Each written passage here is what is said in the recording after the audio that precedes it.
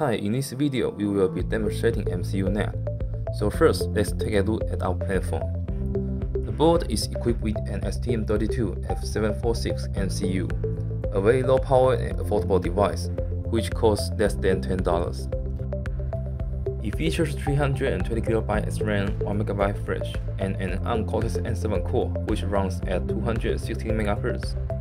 In this demo, the LCD on the board shows a capture frame and where there is a person in the frame.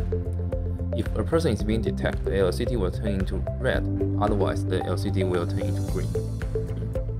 Let's see a few clips to compare MCUNet and MobileNet V1 running on TensorFlow Lite Micro. If we use MobileNet V1 and TensorFlow Lite Micro, the accuracy is about 75% and the FPS is 2.9.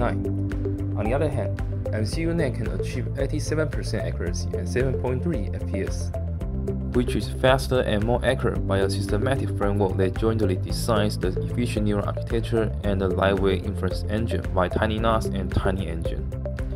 TinyNAS automatically handles diverse constraints like latency and memory under low search cost, and it is co-designed with TinyEngine, a memory-efficient inference library which adapts the memory scheduling according to the overall network topology to expand the design space and feed a larger model.